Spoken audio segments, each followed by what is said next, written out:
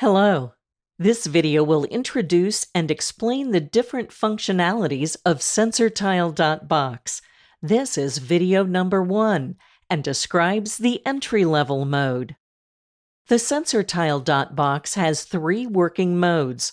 The first one, entry mode, enables the user to discover the sensor functionalities by providing some predefined functions and examples. This is a list of the pre-recorded examples available with the current SensorTile.box firmware release.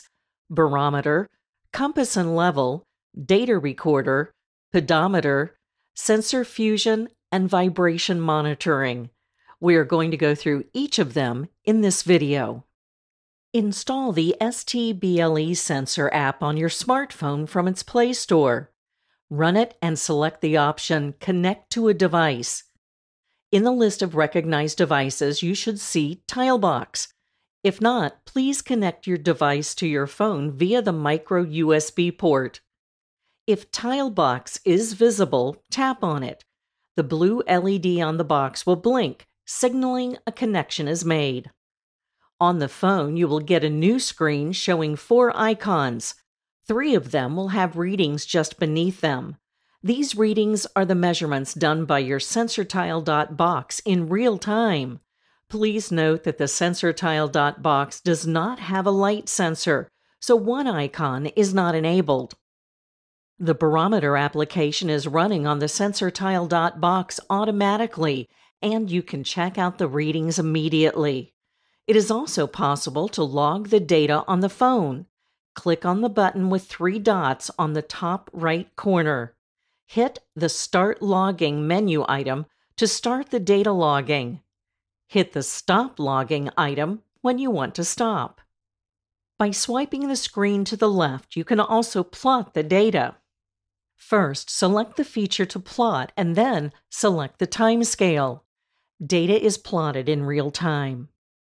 For example, ambient pressure can be seen changing in real time if, for example, you move the sensor tile dot box up and down in the air by a few tens of centimeters. The app screen has some buttons at the bottom of the screen. These buttons can be used to access different screens. The first two have already been shown. The next one, cloud logging, will be explained in the next video. And the last one shows some useful information about the signal strength of the Bluetooth connection, RSSI, and the status of SensorTile.box battery. So, we've just checked out the barometer example. Now let's have a look at the other pre recorded apps. Going back to the main app screen, let's select the Create Apps button. Please note that at the bottom of the new screen that opens, you have three sections Start, Sensors, and More. Start is where the other apps are stored. Sensors is the list of all available sensors inside SensorTile.box. More is to get additional information and help. Inside the Start screen, you can browse a list of app examples that you can immediately try to run in your SensorTile.box. We've just checked out the first barometer app. What is interesting to note is that each app can be inspected and that each sensor that is being used or accessed has its own settings that can be modified. Each app has inputs, functions, and outputs. We will check these out in more detail in the next video. Let's see some other app examples. Let's try the second one, Compass and Level. From the main screen, hit Create Apps, and then from the main Start menu, select Compass and Level. When the app screen opens, hit the pink Play button. Your SensorTile.box name should appear as Available Boards. If not, go back one screen and try again. When prompted to overwrite the board, hit OK. If the upload happens successfully, you can go back to the main screen where you can connect to your SensorTile.box to see data in real time. This time, the data is represented by Euler angles. Move the SensorTile.box to see the graphs moving. By hitting the compass button at the bottom of the screen, you can see a compass drawing pointing to the magnetic north. By hitting the level button, you will see an animation with two circles representing inclinations. Another useful example is the data recorder. Let's move back to the start page to click on it and to the next screen to upload and activate it. After having overwritten the previous app, let's go back to the main screen to connect to your sensor tile.box. This time there is no graphical view since data is stored inside the sensor tile.box. Logging can be started and stopped and will continue also if the cell phone gets disconnected by the Bluetooth. Data can be later retrieved by connecting the sensor tile box to the micro USB port with a PC. Data logging in the app is still available as was described before.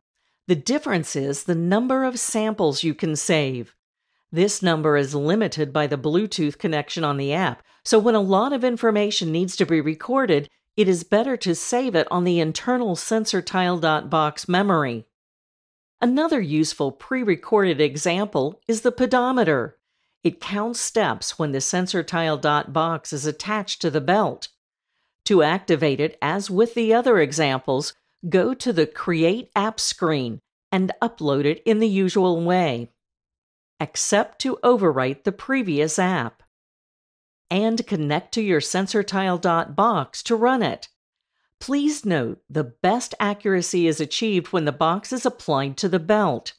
The first eight initial steps are not immediately shown to remove possible false steps. Sensor Fusion is not a fully finalized app, but is used here to show a quick example of how to use different sensors accelerometer, gyroscope, and magnetometer to mutually compensate each other and get a more stable and accurate orientation estimation. This example loads in the same way as described for the others and has a graphical output where a simple dice is rotated in 3D on the screen, representing the sensor tile dot box as it moves in space. Before being able to see the dice, it's possible a magnetometer calibration is requested. In this case, just move the sensor tile dot box in an 8 shaped trajectory with your hand when prompted. Also, here a plot of the output is available. The four quaternions representing the absolute orientation in a 3D space can be seen in a graph. For more advanced users and for a typical Industry 4.0 application, the vibration monitoring example is available. This example is composed of two steps training and compare. The first part needs to be run loading the Vibration Monitor training app and will store the vibration spectrum of a machine in the sensor tile dot box while it's in operation and when everything works correctly. Select and upload it in the standard way. During the run of this example, it's important no vibrations are given to sensor tile dot box that have not been generated by the machine under test, so it is important to keep the machine under test stable. After the first step has been completed, the second step can be run. This is called Vibration Monitor Compare and is available in the Create app screen like the other examples.